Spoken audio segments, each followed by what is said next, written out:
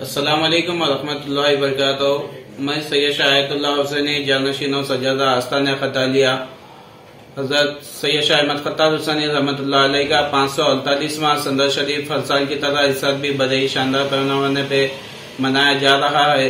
बरोज पीर 28 नवंबर, बाद मगरब फातह खानी और तनावल ताम का इंतज़ाम रहेगा।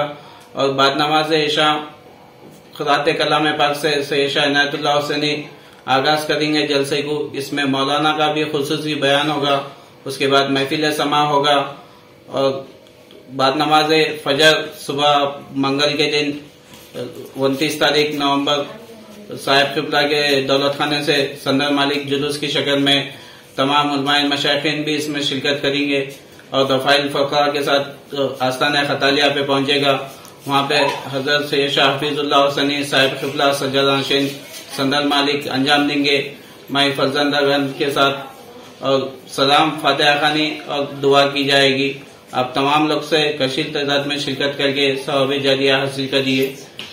मोजाई कोलम्बली नानमपेट डिस्ट्रिक्ट, तेलंगाना स्टेट।